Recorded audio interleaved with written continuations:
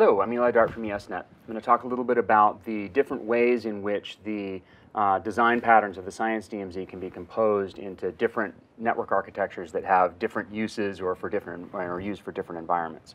So the Science DMZ is a network enclave at or near the site perimeter used specifically for data-intensive science infrastructure. So we have a dedicated network enclave, it's the Science DMZ itself. We have dedicated systems for data transfer. We have integrated test and measurement in the form of perfSONAR. And we have a tailored, customized specific set of security policies and policy enforcement mechanisms that are designed to support the data-intensive science applications deployed in the Science DMZ. Now there is no one true Science DMZ design.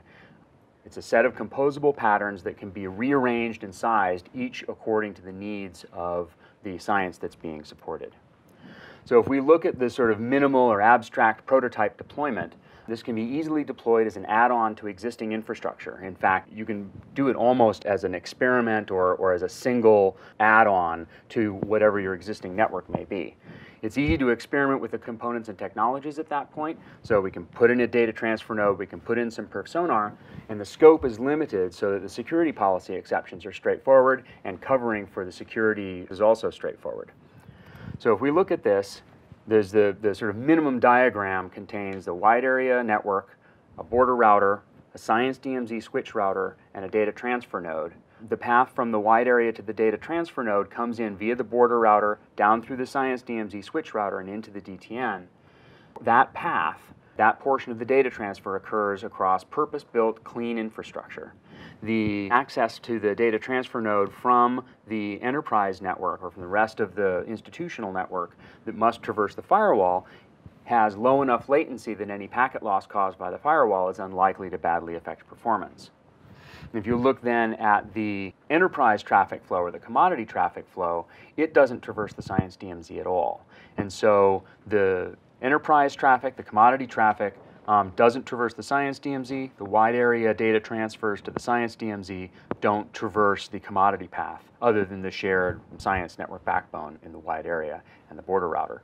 So that separation is useful from a security policy perspective and from a performance engineering perspective.